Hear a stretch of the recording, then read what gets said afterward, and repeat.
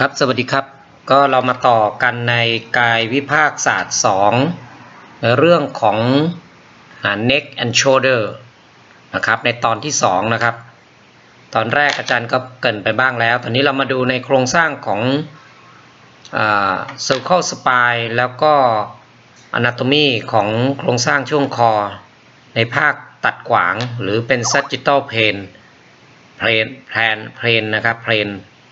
sagittal plane นะครับ อันนี้ก็ถ้าเรามองด้านข้างก็จะเห็นกระดูกสันหลังนะครับ cervical spine ซึ่งตรงนี้เป็นส่วนของ body อันนี้เป็น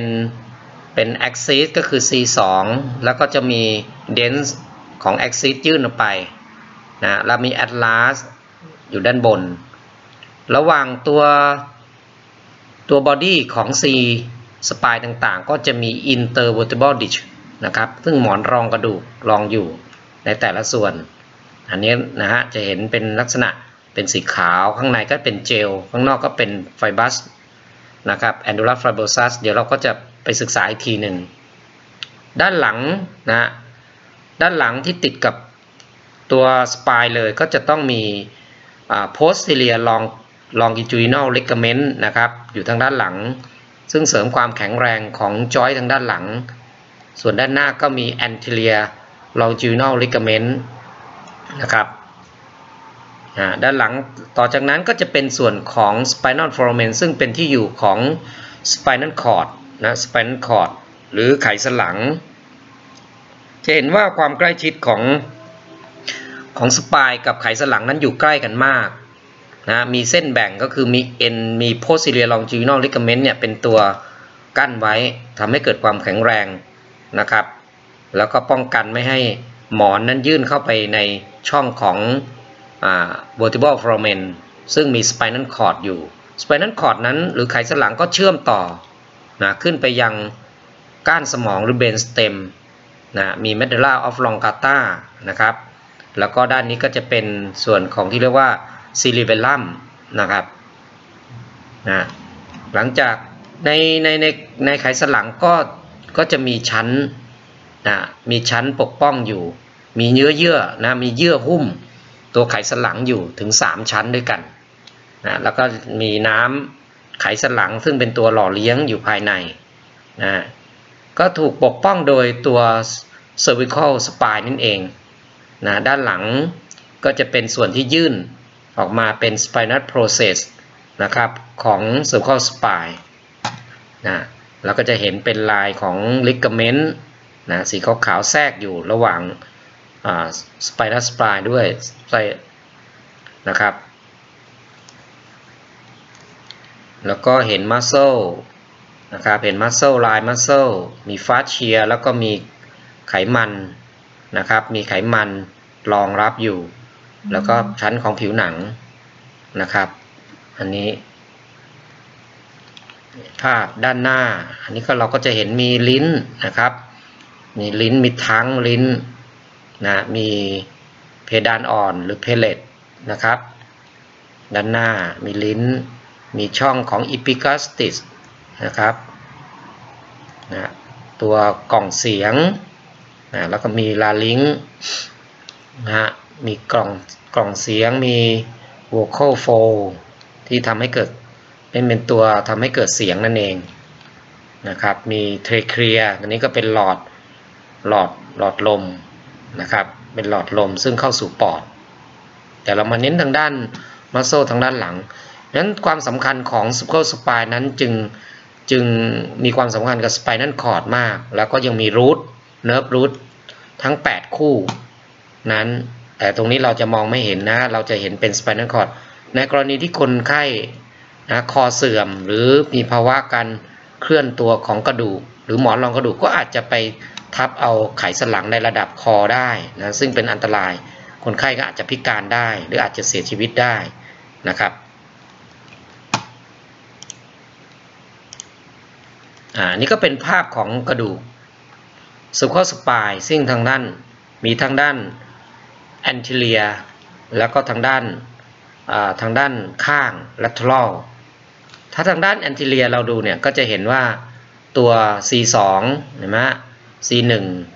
C2 ก็จะมี dense นะครับ dense ก็คือกระดูกที่ยื่นขึ้นไป แล้วก็มีตัว body ของเราเรียกกระดูก C2 ว่า axis ก็ได้ ส่วน atlas นะฮะ atlas นะก็จะมีปุ่มที่ยื่นมาด้านหน้านิดนึงเรียกว่า anterior tubercle นะอันนี้ซึ่งมันยื่นมาเล็ก แล้วก็มี arch มี anterior arch อันนี้เราเรียก at C1 ว่า atlas นะครับอ่าระหว่าง C ระหว่าง body ของ C2 C3 นะครับ ก็จะมีตัวหมอนรองกระดูกรองนะครับ มี intervertebral disc นะซึ่งจะเห็นว่ารูปร่างของ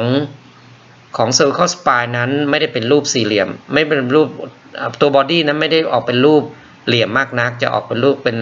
ลักษณะยาวๆนะเหมือนเรือนะหรือเป็นลักษณะสี่เหลี่ยมผืนผ้าซะมากกว่า แล้วก็มี transverse process นะยื่นออกไปทางด้านข้างนะระหว่างนั้นก็มีร่องร่องของ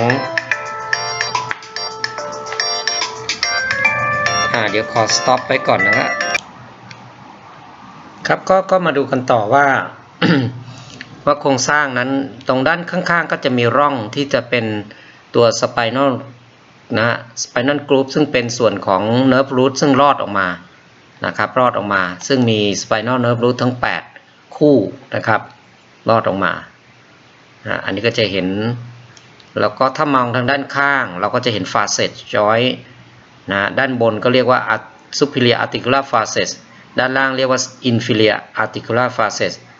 นะครับมาเชื่อมกันก็เป็น facet joint นะครับ ซึ่งทำให้เกิดการเคลื่อนไหว ซึ่งมีมันจะมีทั้งซ้ายด้านด้านซ้ายด้านขวานะอันนี้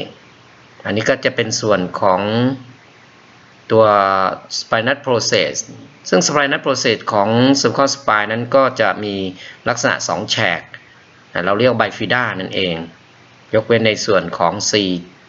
C7 แล้วก็ C1 กับ C2 นะครับ C1 ซ C2 ก็ยังมีนะครับ แล้วก็เป็น prominent ใหญ่ ส่วน C7 นั้นก็ยื่นใหญ่ออกมานะครับ ถ้าเรามองด้านข้างตรงนี้อีกก็โชว์ให้เห็นว่าตรงด้านหลังเองที่เราเห็นสีขาวๆลายๆ นี่ก็เป็นส่วนของ ligament นะซึ่งเชื่อมทำให้เกิดความแข็งแรงถ้า ligament ที่เชื่อมระหว่าง spinal process ด้วยกันก็เรียกว่า inter spinal ligament inter แปลว่าระหว่างนะครับนะแล้วก็มี nuchal ligament ซึ่งยึดมาทางด้านหลังทำให้เกิดความแข็งแรงของ cervical spine ทางด้านหลังนะฮะแล้วก็จะเห็นมองเห็น facet joint ตรงนี้เป็น facet joint ซึ่งมี ligament เชื่อม มี joint capsule อยู่ข้างในนะซึ่งทำให้เกิดการเคลื่อนไหว ตรงส่วนนี้ก็จะมีการอักเสบเสื่อมแล้วก็เสื่อมแล้วเกิดการเสื่อมตัวของได้เวลาที่กระดูกคอเสื่อมนะมองเห็นร่องของ spinal groove ขึ้นมา แล้วก็เห็น body นะ body ของ cervical spine แล้วก็มี dish จะเห็นว่าด้านหน้า ถ้ามองด้านนี้ปั๊บเราจะเห็นความหนาตัวของ anterior longitudinal ligament นะครับ ซึ่งทำหน้าที่ทำให้เกิดความแข็งแรงของของทางด้านหน้า ป้องกันการกระดูกเคลื่อนไปทางด้านหน้านั่นเอง อันนี้ก็เป็นสตรัคเจอร์ในแต่ละมุมนะครับที่เรา ที่เรามองเห็นนะครับ ถ้ามาดูของเอ็กซเรย์นะครับที่เป็นภาพเอ็กซเรย์นั้นก็นะฮะเราก็ดูนะนี่เป็นภาพเอ็กซเรย์ของคอ ซึ่งมีทางด้านวิว lateral view แล้วก็ oblique oblique คือเฉียงนะฮะอันนี้ lateral เราก็เห็นตัว body ชัดเจนมากขึ้น ระหว่าง body ก็จะมีช่องว่างอยู่นะฮะตรงนี้ที่เรามองเห็นสีขาวๆเราอาจจะเรียกว่า intervertebral disc space นั่นเองก็เป็นที่อยู่ของ intervertebral disc หรือหมอนรองกระดูก ถ้าเรามองตรงนี้ก็จะเห็นระยะก็คือเหมือนมันมีความห่างของ body กันอยู่ เป็นสีดำก็คือเวลา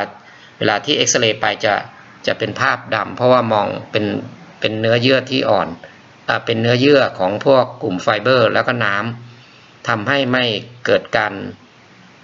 ติดสีขาว ถ้าติดสีขาวนี่ก็เป็นพวกของ bone ต่างๆนะเป็นตัว bone ซึ่งมีความหนาแน่นของกระดูกอยู่นะครับ ด้านหลังเฉียงลงมาสัมผัสเห็นไหมตรงนี้เฉียงเฉียงก็เป็น facet joint นะซึ่งเกิดจาก superior articular facet ด้านบนกับ inferior articular